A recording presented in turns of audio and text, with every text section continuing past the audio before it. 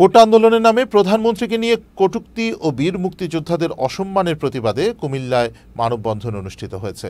বুধবার নগরীর গোয়ালপট্রি এলাকায় এ মানববন্ধন করে মুক্তিযোদ্ধা সংসদ, কুমিল্লা জেলা ইউনিট। মানববন্ধন থেকে প্রধানমন্ত্রীকে কটুক্তি ও বীর মুক্তিযোদ্ধাদের অসম্মানকারীদের দ্রুত আইনের আওতায় আনার দাবি জানানো হয়।